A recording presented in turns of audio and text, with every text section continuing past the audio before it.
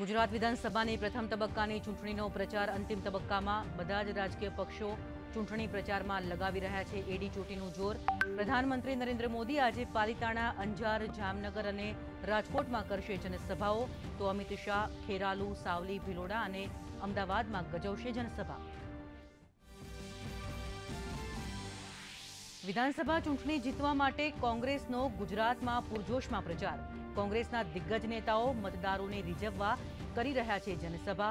પ્રદેશ કોંગ્રેસ પ્રમુખ જગદીશ ઠાકોરે ધ્રાંગધ્રામાં જાહેર સભામાં ભાજપ સરકાર પર કર્યા પ્રહાર.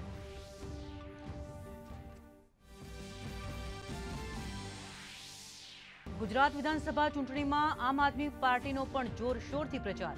આજે પંજાબના મુખ્યમંત્રી અને આપના નેતા ભગવંત માન બાલાસિનોર લુણાવાડા, ડાકોર અને વડોદરામાં કરશે રેલીઓ. તો દિલ્હીના મુખ્યમંત્રી અરવિંદ કેજરીવાલનો ગુજરાતમાં આપની સરકાર બની રહી છેનો દાવો.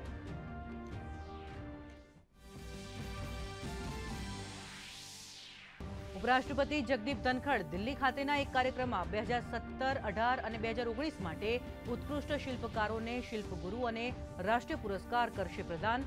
કેન્દ્રીય મંત્રી પિયુષ ગોયલ પણ સમારોહમાં લેશે ભાગ. કોરોના મહામારીના લીધે ત્રણ વર્ષ બાદ થઈ રહ્યું છે સમારોહનું આયોજન. ભારતીય સેના અને ઓસ્ટ્રેલિયાની સેના વચ્ચે સંયુક્ત રૂપથી રાજસ્થાનના બિકાનેરમાં થશે સૈન્ય અભ્યાસ ઓસ્ટ્રા હિન્દ બે હજાર બાવીસ. આજથી લઈને અગિયાર ડિસેમ્બર સુધી થનાર આ સૈન્ય અભ્યાસમાં બંને દેશો વચ્ચે સંબંધ મજબૂત કરવાનો રહેશે આશય.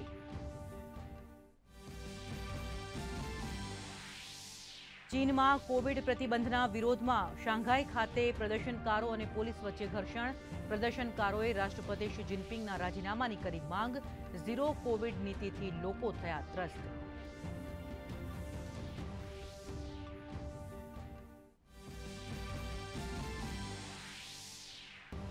ચીનમાં વધતા કોવિડ પ્રતિબંધોને લઈને એશિયાઈ શેર બજારો દબાણમાં સેન્સેક્સ બાસઠ હજાર ચારસો બાસઠ ઉપર અને નિફ્ટી અઢાર હજાર પાંચસો ચોપન ઉપર કરી રહ્યા છે કારોબાર. ક્રૂડ ઓઇલ ત્રણ ટકા તૂટી એક્યાસી ડોલર થઈ. વર્ષના સૌથી નીચલા સ્તર પર તો સોના ચાંદીના ભાવમાં પણ ઘટાડો.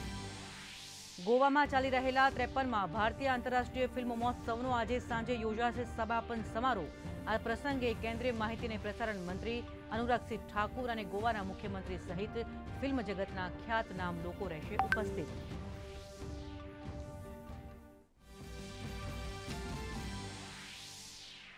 અને ફિફા વિશ્વકપમાં ચાર વખતના ચેમ્પિયન જર્મનીની અંતિમ સોળમાં પહોંચવાનો રસ્તો થયો કપરો. કોસ્ટારિકાએ રચ્યો નવો ઇતિહાસ. જાપાનને પ્રથમવાર આપ્યો પરાજય. તો મોરક્કોનો બેલ્જિયમ સામે બે શૂન્યથી વિજય.